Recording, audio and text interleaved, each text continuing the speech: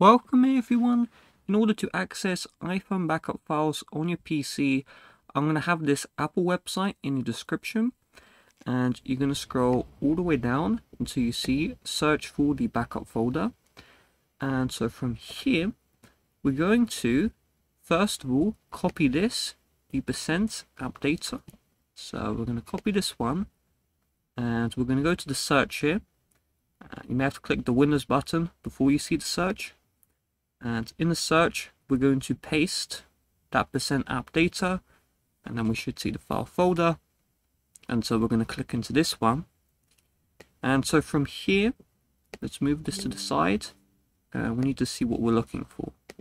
So if we go into the percent app data then we're going to look for Apple computer.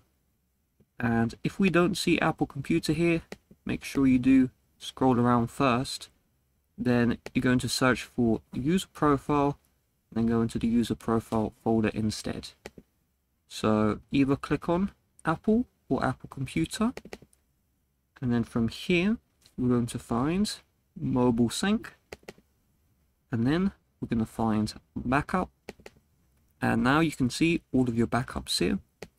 So this unique numbers and sometimes letters this is the unique device identifier for your devices and uh, if you see the date modified you can click on this to view the most recent backups if you'd like.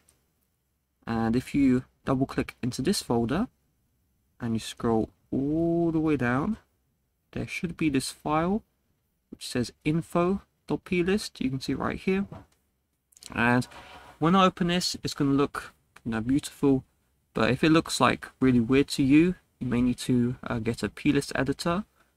So we're going to right click this file and we're going to open with and so I'm just going to use the notepad here and the plist opens up and so you can see it's looking you know weird but the important part is if we go to edit and then find you can look for things like the software version. So if I just search up 16 let's go 16 if we scroll down here we can see things like the Apple ID and uh, let's go further down. Further down. What the? I didn't what? Wait wait. Yeah that's the info we have to edit this one. And so let's double click into a folder here. And you do need to use a iPhone, you know, uh, uh, backup viewer in order to view these files. Otherwise, everything is going to be gibberish. Okay, so you will need to use third-party software for that.